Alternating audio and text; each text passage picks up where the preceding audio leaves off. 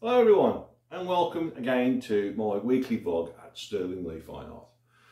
And in this exciting, fun-packed episode, um, I wanted to talk to you about um, what actually um, finished means. So when I say, well, I've finished a piece of artwork, what, what, what, what does that actually entail? What does it look like? What does finished look like? Well, finished will actually uh, be pretty much when I've decided I'm going to stop drawing or painting or putting gold leaf onto a piece. I'd call that finished. But there's an awful lot of work to do after finished has been achieved. So first of all, I would, if it's just an oil painting, um, I would have to varnish it. And when I'm varnishing, that looks like this.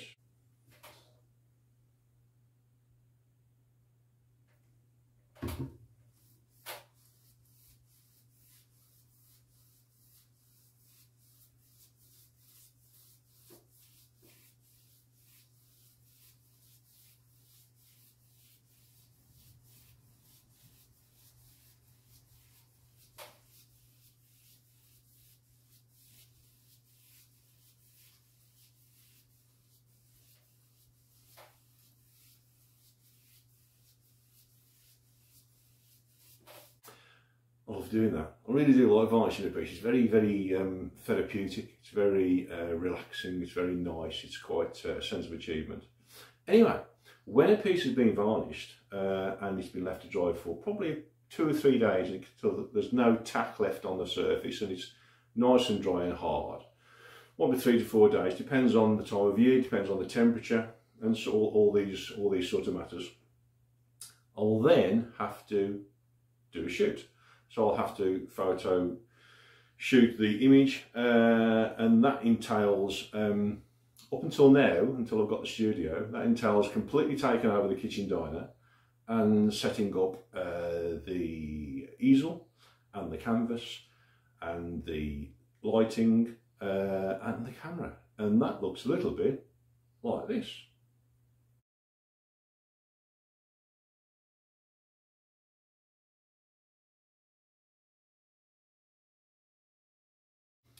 So when I've done all of that, I then um, have to uh, edit the images. You'll notice that when I've got all of the stuff set up for the shoot, the image, because I generally paint in a portrait uh, um, orientation, orientation, international sign for orientation, um, so it's sort of that way and not that way. I paying attention because I will be asking questions. I've got to stop looking like a teapot. I keep finding myself doing that all the time. So, when I've got all that done, um, the piece will be arranged so it fits the camera lens best. Uh, and then I can obviously block out the, the background by zooming in and just having the whole of the image within the camera frame. So once that's done, I will then uh, normally uh, watermark the piece on my uh, computer and I will reduce the size of the overall image. So if any nasty naughty people out there want to copy my image and make their own prints from it, then it'll be very low quality and it won't print very well. Um, and then once all of that's done, um, I have to uh, write a piece about it. So I'll do some uh, description of the piece, what inspired me to do it, um, if there was any overall inspiration. Sometimes I just, um, I'll have an image and I just want to draw it. It's as, it's as much as that. I don't generally get the kind of inspiration that other artists get where they, oh, they see a beautiful sunset or they see a lovely colour of a piece of clothing or something. I'll just see an image and I just think, that would make a perfect painting, make a beautiful piece of artwork. And I'll, I'll, just have the need to draw it or paint it. So that's generally the kind of inspiration that I have. Um, so I'll write about it and it will be, uh, I might put some, uh, some meaning to the piece after I've constructed it. I generally get that after the construction or the creation of a piece.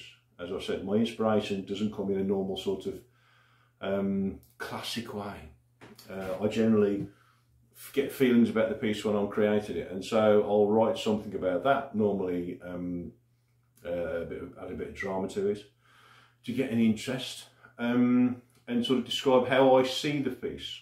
That's probably a good description of how my artwork uh, uh, evolves. I will just see something I want to draw or paint, and then as I'm constructing it, there's uh, my emotion will come into it in that in that manner rather than right at the start. And um, I've never actually sat down and thought about it previously. It's just in talking about it today that that's actually occurred to me. And that's probably a pretty accurate way of how it works. And so when I've done that, when I've written about it, I'll obviously list the medium that it's painted in. I'll list, if it's a mixed media piece with gold leaf, I'll describe the gold leaf. Um, and uh, all that will get written written out. I'll obviously then proofread it and then I'll put that onto the website and I'll also do some other images of how um, the piece was created, some sort of process images as it's been created through and through and through and I've progressed from like the, the initial canvas or the drawing all the way through to the, the finished article. Um, so that all gets put on that, so that then lets prospective clients see the progress of an image, which I think is also very important. Because um, it's not like you just go, and there goes, blank piece of paper, finished article. It just doesn't work that way. Um, so then when that's done, uh, then I'll put it onto socials, onto mostly onto Instagram um, and to uh, onto Facebook, onto the two pages that I have there for my followers. And then I may even do a video about it on this medium of YouTube. So once something's finished, um, it's not actually finished because there's there's an amount of work to do afterwards, which tends to get forgotten about, um, and all has to be done. Uh, it all takes time. We know what time equals. Time equals money. So um, yeah, so finished just means finished painting really, um, but it doesn't really capture everything that I have to do as an artist to make things available for people and to get it out there in the big wide world. So, I hope that little insight's been of interest to you and um, I'll see you next time.